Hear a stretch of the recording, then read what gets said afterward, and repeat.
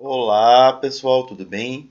Aqui é o professor Márcio, o autor do blog Diário de um Químico Digital, e agora vamos falar sobre raio iônico na aula 2.2 da unidade de propriedades periódicas. Bom, o raio iônico ele é uma decorrência do raio atômico, mas ele tem uma particularidade. Tem dois tipos de íons que podem se formar: os íons que acontecem por perda de elétrons e os íons que surgem por ganho de elétrons.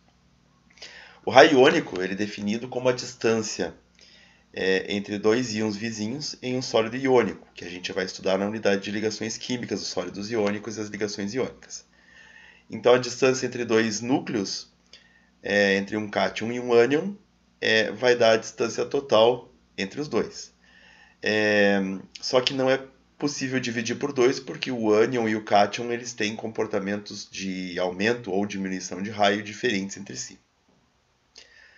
Bom, na, na tabela aqui nós temos algumas, algumas representações e valores experimentais de tamanhos de ânions e cátions, e eu tenho que salientar duas coisas.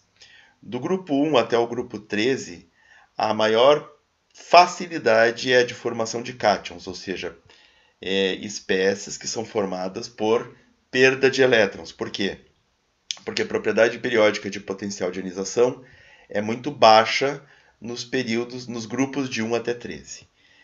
Então, dentro de um período, dentro de uma linha horizontal, até o grupo 13, há uma facilidade de formação de cátions.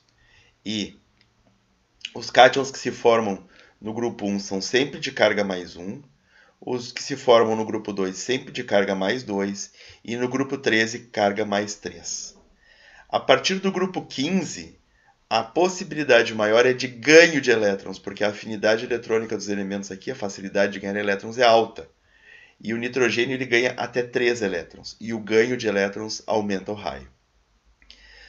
O oxigênio forma, o oxigênio os elementos da família do oxigênio formam ânions de carga menos 2, ou seja, que ganham 2 elétrons.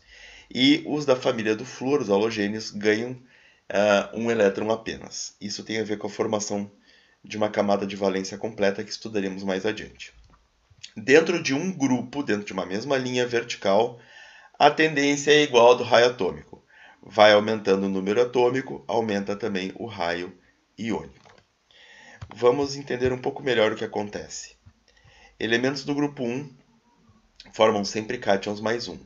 Então, em relação ao elemento neutro, o lítio, por exemplo, tem 1,34 picômetros, o lítio mais 0,68. O berílio, que já tem um raio menor em relação ao lítio, que é do mesmo período, neutro tem 0,90 picometros, o berílio 2 mais 0,31, porque os elementos do grupo 2 sempre formam íons de carga mais 2. O boro, que vai ter um raio menor que o berílio, o boro neutro é 0,82, o boro 3 mais 0,23.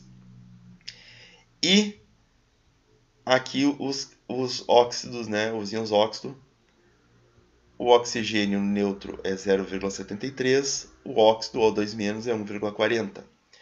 O flúor neutro 0,71, o fluoreto 1,33. Isso acontece por quê? Vamos entender mais adiante. Os cátions são as espécies que são formadas por perda de elétrons. O raio do cátion sempre vai ser menor do que o raio do átomo neutro. Exemplo, raio do íon magnésio 2 é menor que o raio do magnésio neutro. Por que esse 2 e esse mais? Porque é, quando dois elétrons são perdidos, os prótons do núcleo ficam descobertos, não ficam contrabalançados por dois elétrons. Então, o sinal mais indica cargas positivas do núcleo que não estão cobertas por elétrons. E o número 2 indica a quantidade de cargas nucleares que não estão cobertas por elétrons. A simbologia é o número e depois a carga que está em excesso. Não é que foram criados dois prótons, apenas que dois prótons não têm mais elétrons correspondentes a eles. Os ânions são as espécies que recebem elétrons. O raio do ânion sempre é maior que o raio do átomo. Por quê? Porque os elétrons extra que entram causam uma repulsão eletrostática com os elétrons que já estão no, no, na eletrosfera, e aí para minimizar essa repulsão, o raio do, do átomo aumenta. Aqui o exemplo, o íon sulfeto S2- ele é maior do que o, o enxofre neutro. Mesma coisa, o sinal negativo aqui não é um sinal matemático, é um sinal de carga elétrica. Então, carga elétrica em excesso que tem aqui é elétron. E o número indica a quantidade, tem dois elétrons a mais. Esses elétrons, sim, eles são adicionados ao átomo, eles não estavam lá antes. Aqui temos exemplo dos íons lítio e sódio, mais, dos íons berílio e magnésio 2+, dos íons óxido e sulfeto, O2- e S2-, e F-, fluoreto e cloreto. Uh, em branco no interior, o, o átomo neutro, e em verdinho por fora o átomo carregado com elétrons a mais, o ânion. E aqui ao contrário. Aqui por fora nós temos o átomo grande, em verde, e quando perde elétron, a bolinha branca lá dentro. Diminui muito o tamanho.